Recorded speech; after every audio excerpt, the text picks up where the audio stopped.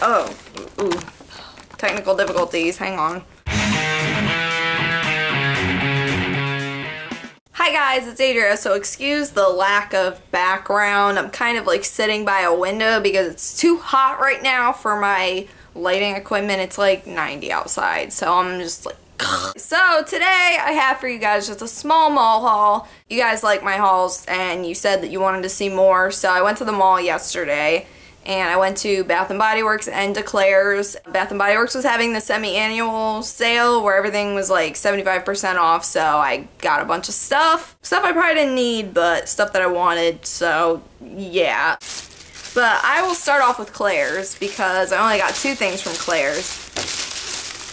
First up, I got this little makeup bag, which I actually saw when I was at the mall with my sisters a few weeks back. I took them birthday shopping because I wasn't there for their birthday, which was May 19th, and I went up there. Um, when did I go up there? It was like the end of May, first two weeks of June. So I got them each a birthday present at the mall, and I saw this in Claire's, and I didn't want to buy it then because we were there for them so I I don't know. I feel weird when I'm like buying stuff for other people and then I'm just like oh yeah I want this so I don't know.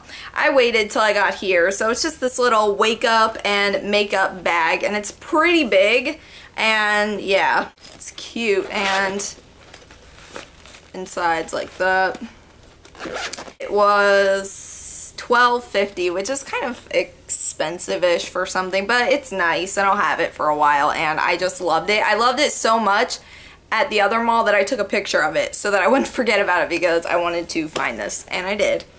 So I got that and then I got these little pizza earrings which are so cute and I was looking for pizza earrings that I could wear to work since I work at a pizza place so I thought that that would be cute. So I got these, and these were $8. So altogether I spent like 22-ish dollars at Claire's.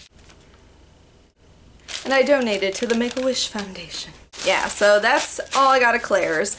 And now on to my favorite Bath & Body Works. Okay, I have never been crazy about Bath & Body Works summer, summer stuff. I'm usually more of the fall person. Once fall comes, like, no money left for me because it all goes to Bath & Body Works, but, um, yeah, uh, let's see. So first up, I got this Ocean Melon and Mango Shower Gel. And I'll admit, it was the color that sold me because, I mean, my desk and yeah I mean this is like my favorite color so anything that says color like just give it to me I don't care what it is so um, I was hoping I would like the smell when I saw it, and it smells so good. It kind of smells like, all I smell is watermelon. I'm not smelling any mango, but yeah, so I got that. And then I got this black cherry Merlot hand I was gonna say lotion. This is clearly hand soap. Brandon picked this out. This is like his personal favorite. Brandon loves Bath & Body Works. He's probably like the only guy in history that doesn't mind going into Bath & Body Works and actually enjoys it. And he really likes their men's stuff too. This kind of smells like cherry medicine. Like if you ever had like cherry, um, like fever medicine, like liquid. That's what it kind of smells like. I guess if you like that smell, there's always this.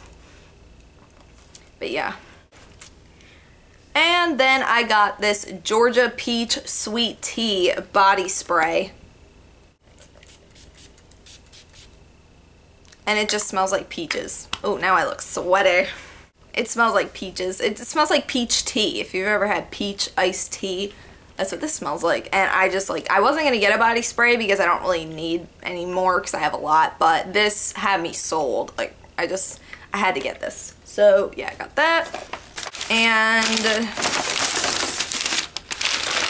candle. So this three-wick candle is Coastal Sun, and it's cute. It has like a little steering wheel for a boat on it, and it smells just fruity.